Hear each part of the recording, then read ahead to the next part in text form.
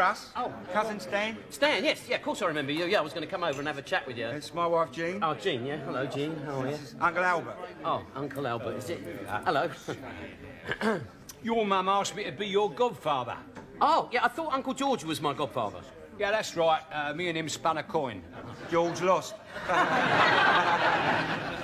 Still, what are you up to these days, uh, Stan? Are you still pouncing around in the insurance game, are you? Well, I'm still in the insurance business, yeah. Doing very nicely, thank you. Oh, we've got our own place, all paid for. Oh, really? What you got? Maisonette? No, it's a mobile home, actually. Ah. you got a caravan?